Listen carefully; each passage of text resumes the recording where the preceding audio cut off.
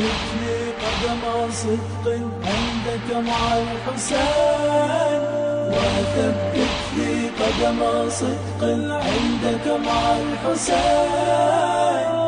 يا حبيبي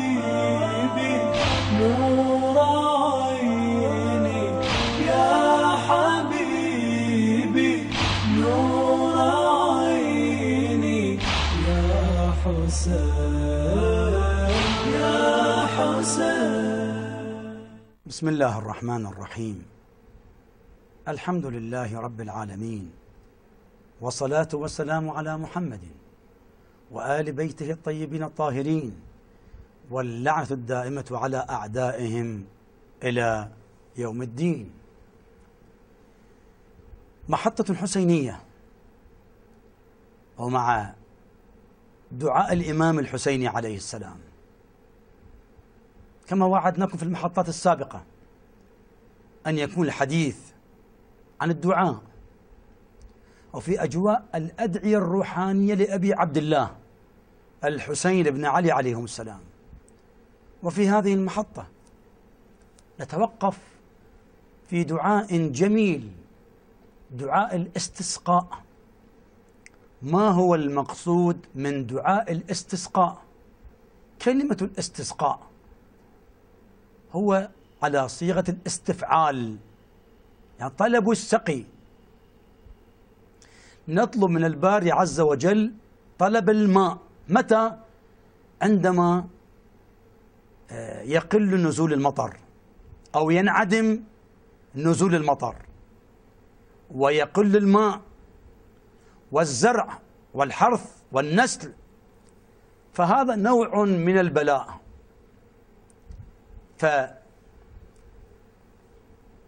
فالباري عز وجل عندما يمتحن الناس بهذا الامتحان حس أن قلة الماء أو انعدام الماء نوع من البلاء أو نوع من الاختبار للإنسان.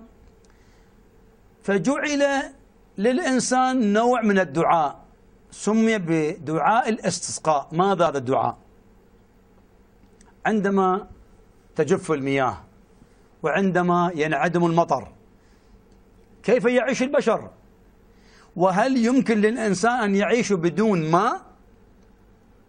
فما عليه إلا أن يخرج إلى الصحراء. كبار صغار نساء وأطفال وكهول الكل حتى المرضى. يخرجون حفاة بحالة بذلة وتواضع إلى الصحراء. وهناك يتضرعون إلى الله سبحانه وتعالى ويطلبون من الباري عز وجل يصلون ويدعون ويقرؤون القرآن حتى الباري عز وجل ينزل عليهم المطر. وكثير من الناس يخرجون ولا يستجاب الدعاء. لمشيئة ربانية إلهية لا نعرفها. ومن هذه الأدعية الإمام الحسين عليه السلام يعلمنا هذا الدعاء. والعياذ بالله إذا أصبنا بجفاف المياه وقلة المطر أو انعدام المطر هنا روايات رسول الله وأهل البيت عليهم السلام تحثنا أن نخرج. خارج القرية خارج المدينة إلى الصحراء بحالة ذل وخضوع وخشوع وبكاء ونطلب من الله سبحانه وتعالى أن ينزل علينا المطر. فكيف إذا دعا النبي؟ كيف بذا إذا دعا أهل البيت؟ والآن تعالوا معي. حتى نرى أن كيف دعا الإمام الحسن والإمام الحسين في موضوع الاستسقاء. عن الإمام الصادق عن الصادق عن أبيه الإمام الباقر عن جده الإمام زين العابدين سلام الله عليه. الإمام علي بن الحسين الإمام الرابع من أئمة أهل البيت عليهم السلام. زين العابدين. قال اجتمع عند علي بن أبي طالب يعني عند أمير المؤمنين سلام الله عليه. اجتمع عند علي بن أبي طالب عليه السلام.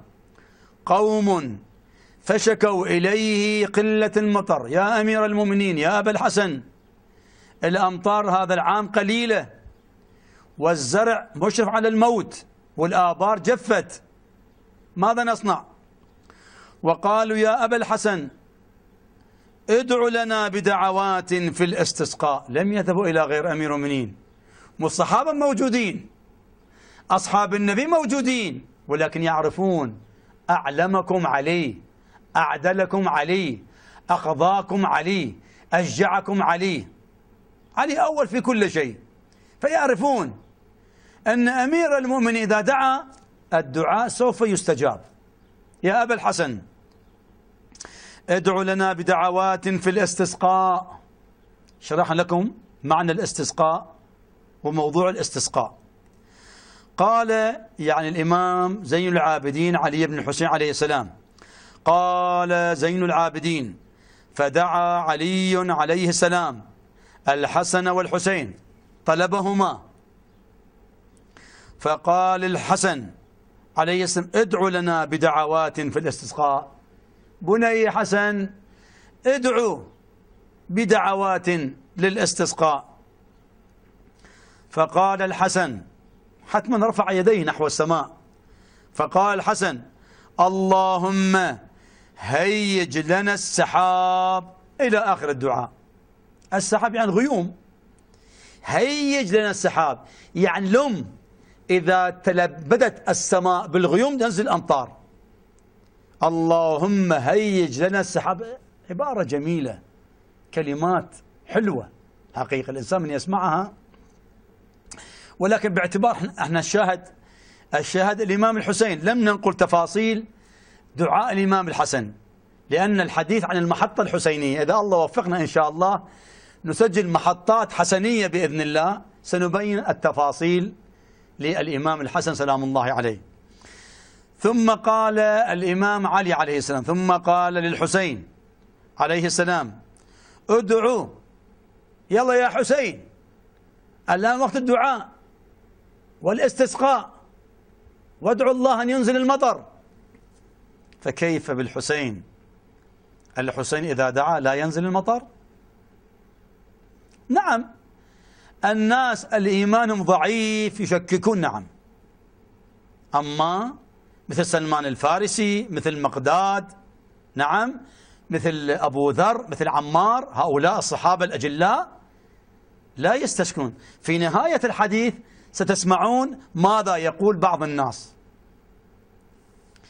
فقال الحسين اقرأ الدعاء هذا دعاء الاستسقاء ينفعكم في وقت إن شاء الله. فقال الحسين عليه السلام بعدما ما طلب منه الإمام أمير المؤمنين بالدعاء فقال الحسين عليه السلام اللهم يا معطي الخيرات من مناهلها ومنزل الرحمات من معادنها ومجري البركات على أهلها. ملك الغيث غيث المطر؟ ملك الغيث المغيث وأنت الغياث المستغاث. ونحن الخاطئون وأهل الذنوب. طبعا الإمام الحسين إنسان معصوم لكن هذا يقول إلينا حتى يعلم نحن. عندما نريد أن ندعو بالاستسقاء ندعو ولا الإمام لا يخطأ الإمام لا يذنب حاشاه ونحن الخاطئون وأهل الذنوب. وأنت المستغفر الغفار. لا إله إلا أنت. اللهم أرسل. اللهم أرسل السماء علينا لحينها مدرارا. واسقنا الغيث واكفا مغزارا. غيثا مغيثا واسعا متسعا مريا ممرعا غدغا مغدغا غيلانا صحا سحاء وإلى آخر الدعاء. دعاء في الاستسقاء. طبعا المصدر الذي يريد أن تأخذ تفاصيل أو ينقلها ويسجلها كتاب قرب الإسناد صفحة 73 طيب بعد ما أكمل الإمام الحسين الدعاء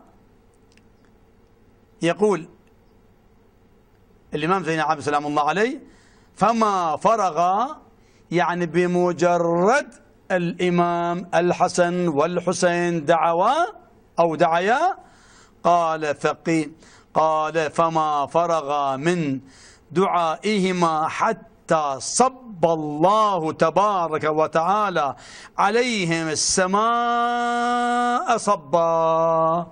اللهم صل على محمد وآل محمد وعجل فرجهم ولعن أعدائهم فما فرغ يعني الحسن والحسين من دعائهما حتى صب الله تبارك وتعالى عليهم السماء صبا. ما شاء الله. قال هنا الإمام زين العابدين يكمل الرواية. فقيل لسلمان كأنما سلمان المحمدي سلمان الفارس كان موجود أيضا. فجماعة من الصحابة فقيل يعني جماعة من الصحابة قال لسلمان الفارسي. فقيل لسلمان يا أبا عبد الله لأن من ألقاب سلمان الفارسي أبا عبد الله. من ألقابه أبا عبد الله. فقيل لسلمان يا أبا عبد الله.